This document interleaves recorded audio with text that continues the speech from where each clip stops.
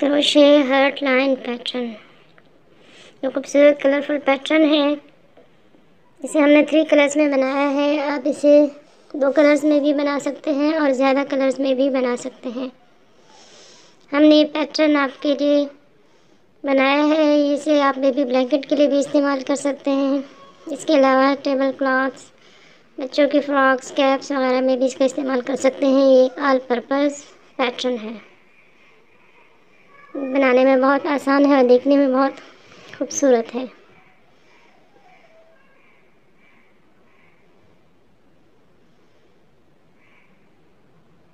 इसे बनाने के लिए हमारी वीडियो को एंड तक क्लास में देखिएगा। अब हम आपको इसकी मेकिंग दिखाते हैं। सबसे पहले आपने चेन बनानी है। आप जितना भी, भी ब्लैंकेट बनाना चाहते हैं या केप बनाना चाहते हैं उसके हिसाब से आपने अपनी चेन्स बना लेनी है। ये बेस चेन है और ये सिंपल चेन आपने बना लेनी है। बेस कलर हमने ग्रीन यूज़ किया है इसलिए हमने ग्रीन कलर की चेन बनाई है।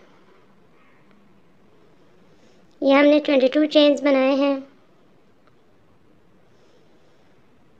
इसके बाद हमने सेकंड चेन में सिंगल क्रोशे बना लेना है।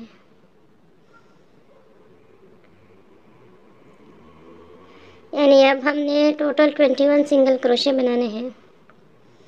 हर चेन में और हर स्टिच में आपने एक एक सिंगल क्रोशे बना लेना है। ये हमारी फ़र्स्ट रो है और ये सिंपल इसी पैटर्न पर बनेगी। तमाम रो आपने इसी पैटर्न पर बना लेनी है, सिंपल, सिंगल क्रोशे बनाते हुए आपने ये रो कंप्लीट कर लेनी है। हमने ये रो कंप्लीट कर ली है। इसके बाद हम सेकेंड रो स्टार्ट करेंगे। हमने टू चेन्स बनाई और अब हम सेकेंड रो के लिए टर्न ले रहे हैं। फ़र्स्ट स्टिच को छोड़कर सेकेंड स्टिच में आपने सिंगल क्रोशे बना लेना है। जो हमने टू चेन्स बनाई है, वो हमारा एक फ़र्स्ट सिंगल क्रोशे काउंट होगा। अब इसके बाद सेकेंड रो भी उसी पैटर्न पर बनेगी। ये टू रोज़ आपने फ़र्स्ट टू रोज़ आपने सिंपल सिंगल क्रोशे की बना लेनी है। ये सिंपल हर स्टिच में आपने एक एक सिंगल क्रोशे बना लेना है। हमने टोटल ट्वेंटी वन स्टिचेस दिए थे तो अब हमने, हमारे पास total twenty one single crochet बनेंगे। और इसी तरतीब पर आपने अपनी पूरी रो को कंप्लीट कर लेना है। ये हमने रो कंप्लीट कर ली है। और एंड के स्टिचेस अब हम कंप्लीट कर रहे हैं एंड पर आके आपने अपने सिंगल क्रोशे के स्टिचेस कंप्लीट कर लेने हैं। ये हमने रो कंप्लीट कर ली है। इसके बाद हमने थ्री चेन्स बना लेनी है और अब हम अपनी थर्ड रो पर टर्न लेंगे। लेकिन ये हमारा डिज़ाइन की रो है और ये हमारी फ़र्स्ट डिज़ाइन की रो है। अब हम वन सिंगल डबल क्रोशे बनाएँगे। पहले हमने थ्री चेन्स बनाई थी। थ्री चेन्स हमारा एक डबल क्रोशे काउंट होगा। इसके बाद हमने एक डबल क्रोशे और बना लिया। अब हमने थ्री काउंट किया और थ्री स्टिचेस को स्किप करने के बाद फोर्थ में हमने एक डबल क्रोशे बना लिया है। वन डबल क्रोशे इसी स्टिच में हमने फाइव डबल क्रोशे बना लेने हैं। ये हमारे डिज़ाइन की फ़र्स्ट रो है और ये इसी पैटर्न पर बनेगी। थ्री स्किप करने के बाद फोर्थ में हमने फाइव डबल क्रोशे बनाने होंगे। ये हमारे four double fourth double crochet और ये फिफ्थ डबल क्रोशे तरह हमने फाइव डबल क्रोशे बना लिए हैं। अब हम वन टू थ्री स्किप करेंगे और फोर्थ में हम डबल क्रोशे बना लेंगे। One double crochet two double crochet three double crochet fourth double crochet, और ये फिफ्थ फिफ्थ डबल क्रोशे इसी तरह से आपने फाइव फाइव डबल क्रोशे बनाते जाना है। थ्री स्किप्स करेंगे। One two three one two three और फोर्थ में हम फाइव फाइव डबल क्रोशे बनाएँगे। इस तरह आपने तमाम रो कंप्लीट कर लेनी है। साइड्स पे हमने दो दो डबल क्रोशे रखने हैं। अब हमने साइड पे वन टू स्किप किए और थर्ड में हमने डबल क्रोशे बना लिया और एक डबल क्रोशे हमने और बना लिया। इस तरह साइड्स पर हमने टोटल दो दो डबल क्रोशे बनाए हैं। अब हमने वो साइड छोड़ दी है, इसके बाद जहाँ से हमने स्टार्ट किया था, उसी पॉइंट से हम अपना पिंक कलर इसमें ऐड कर रहे हैं। ये हम उसमें तार को बंद कर रहे हैं ताकि हमारा जो थ्रेड है वो खुले ना और वो सिक्योर हो जाए। इसके बाद हमने थ्री चेंज बना ली हैं और अब हमने एक डबल क्रोशे और बना लिया है। यानी साइड के टू डबल क्रोशे को हमने मेंटेन रखना है। ये हमारे दो डबल क्रोशे हो गए। फ़र्स्ट थ्री चेंज हमारा एक डबल क्रोशे काउंट होगा, उसके बाद हमने एक और बनाई। अब हम चेंज काउंट करेंगे। Stitches one two three four और फिफ्थ फिफ्थ में आके हमने डबल क्रोशे बना लेना है। One double crochet two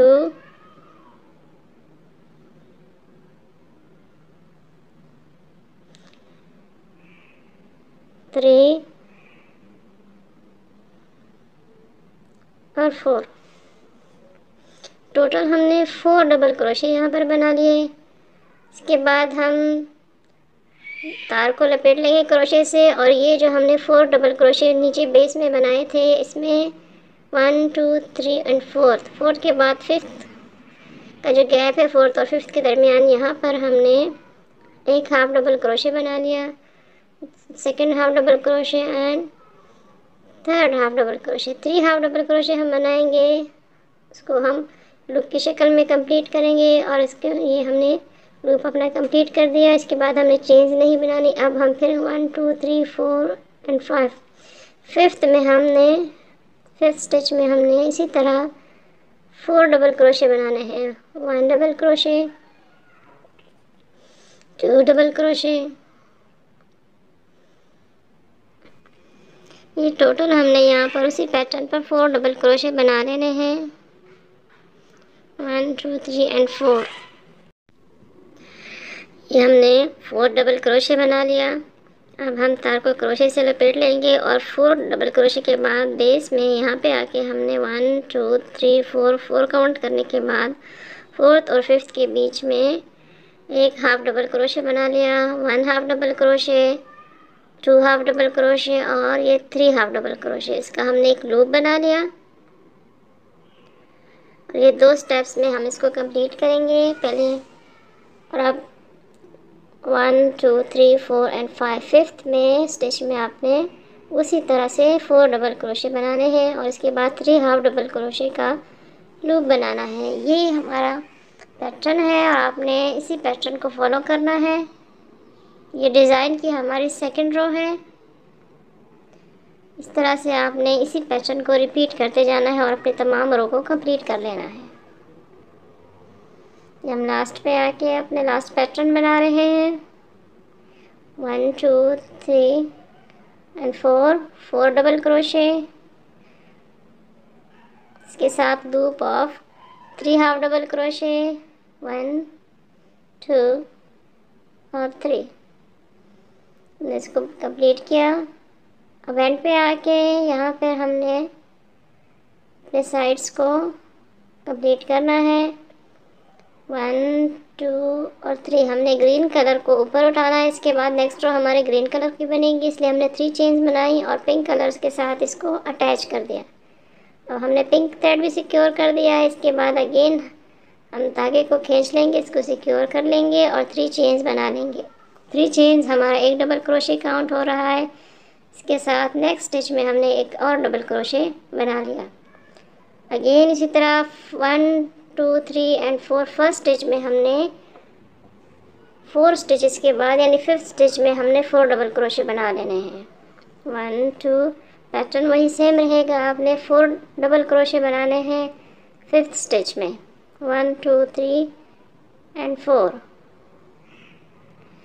इसके बाद हमने हाफ़ डबल क्रोशे बनाना है। फोर्थ के बाद फोर्थ और फिफ्थ के बीच की जो स्पेस है, उसमें हमने थ्री हाफ़ डबल क्रोशे बना लेने हैं उसी पैटर्न पर। वन, टू एंड थ्री कई लूप लूप हम कंप्लीट कर लेंगे तो हमें ये देखिए हमने टू और इसके बाद वन अगेन फिफ्थ स्टिच में हमने उसी तरह फोर डबल क्रोशे बनाने हैं one double crochet two three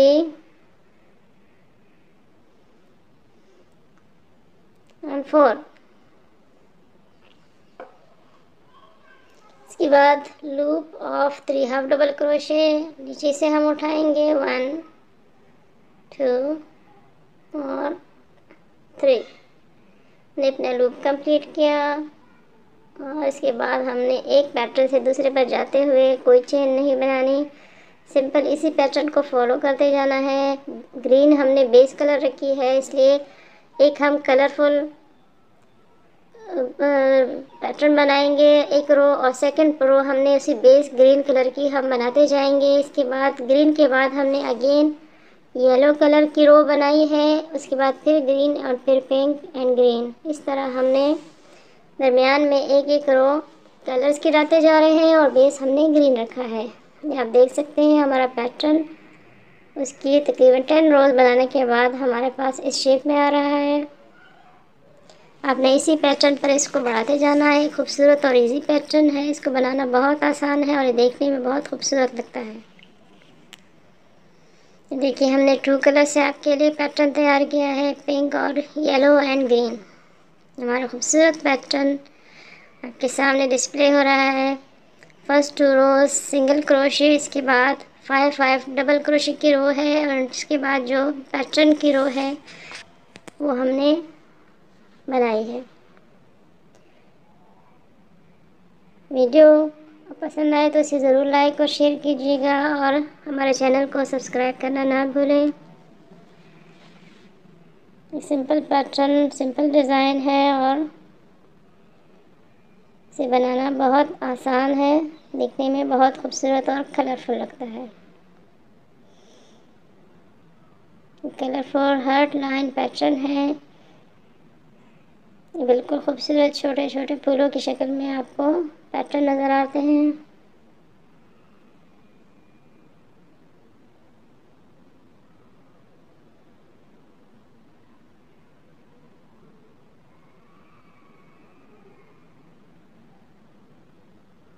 video देखने का बहुत बहुत शुक्रिया। अल्लाह हाफिज़।